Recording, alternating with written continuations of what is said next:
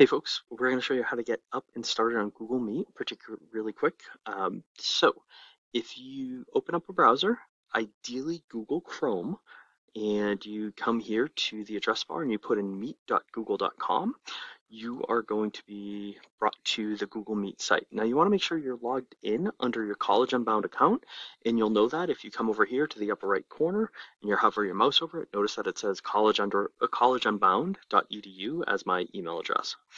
All right, so when you're ready, you will select New Meeting. Uh, you can create a meeting for later, you can start an instant meeting, or you can schedule in Google Calendar. So let's take uh, create a meeting for later first. So you're going to click that. And this is actually just going to give you all of your all the things that you need. It gives you the meet address, that is the address you want to go to to have your meeting, uh, and it also gives a dial-in number as needed. So honestly, you would just copy that info, click that little right there, and you might pop it into an email and send that to all of your students, or pop it into Moodle and uh, as an announcement, and maybe also on like the syllabus and course info section at the top you could add that as a page or, or a section there. Um, so that's one way you could do it. Um, if you click to start an instant meeting, it's actually going to pop you right into Moodle, uh, sorry, right into Google Meet fairly quickly. So you could click on it and it's going to say, here you go, you can start joining. It's going to ask you about this. I'm going to continue without microphone and camera because I'm using those for this recording. And then it actually just puts me right in here. And so it's going to say, actually, you know, your meeting's ready. Do you want to add others? And so I'm going to select add others. And then it's going to offer up other people that I can put, or I can just copy and paste a bunch of email addresses all at once into this uh, section here. So that's if I want to uh, just start the meeting instantly.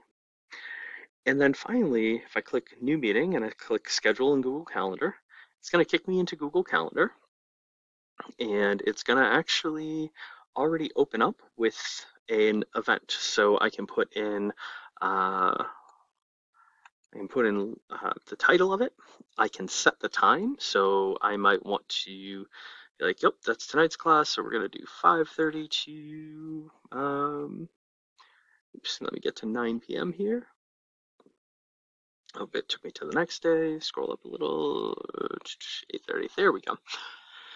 Um, I can also set this for the entire semester, so I can click on does repeat and it can repeat weekly on Tuesday, or I could customize it and decide uh, it will run weekly on Tuesday and I want it to end, uh, say that first week in December. Sorry, in May. What am I talking about? So I can hit done. Uh, it automatically has Google Meet here. And then what I would want to actually do is over here, I'd want to copy where it says guess, I'd want to copy and paste all of my students' emails. And in this case, I probably want to, actually in all these cases, I probably want to both their College Unbound email, and then I would also check uh, Campus Cafe to make sure to post, uh, to, to make sure to get their personal email too, especially in the, early in the semester, you'd want to do that. So I would put those in there and then I would be all set and I would one of the thing I would do is right here where it has Google Meet, I would actually copy the Google Meet information and I'll tell you why in a second. So I would save this and now everybody will get a calendar invite to this for all of the, you know, as I said, until it would be a Tuesday meeting uh, until May 10th. Now, um, I'm going to do that. And also because it's first, you know, maybe the first class, etc. I'm also going to open up an email and I am going to, you know, send a message to them saying, hey, we're meeting on Google Meet. Here is the Google, you know, here's the Meet information. I look forward to seeing you guys so that they get both a calendar invite, which they may not realize, understand what that is, and they also get a message from you. So that's how you would do it. Um, you just go to Meet. As I said, we, we go to meet.google.com. We can choose the particular meeting type, and then we can send that information out to them. Hope this is helpful. Let me know if you have any questions.